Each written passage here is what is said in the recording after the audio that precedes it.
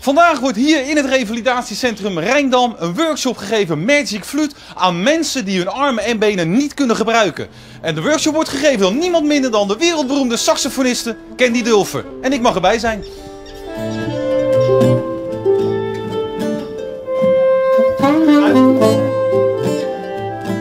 De Magic Flute is een muziekinstrument, maar het is geboren als ademhalingsoefeningsinstrument.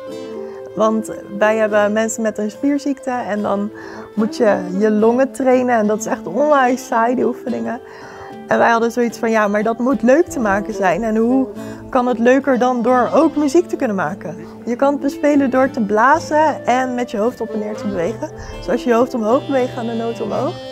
En als je hoofd omlaag beweegt, gaan de noten naar beneden. Dus eigenlijk heb je alleen maar, hoef je alleen maar ja te kunnen knikken en dan kan je het bespelen. En kan je er alleen een saxofoon uit halen of eigenlijk elk instrument wat je wil? Je kan alle instrumenten bespelen die je wil. Het is een synthesizer. Je kan er zelfs mee drummen. En welk instrument vind jij het mooist? Saxofoon. Goh, wat een toeval dat Candy Dulfer vanmiddag komt dan. hè? Heel erg toevallig. Ja, heb je er zin in? Ja, heel erg. Ik vind het echt heel leuk. Het is zo mooi om te zien.